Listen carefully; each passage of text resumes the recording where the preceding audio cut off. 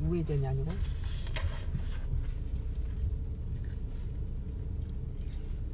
우리 이쪽으로 올랐으니까 저리 응.